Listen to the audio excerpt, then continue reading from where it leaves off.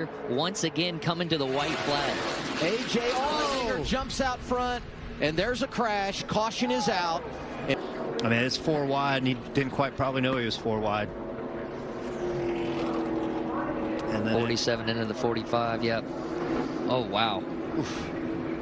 That's a lick. Yeah, well, in a hurry here. At 47 is Greg Alden. Look at Shane.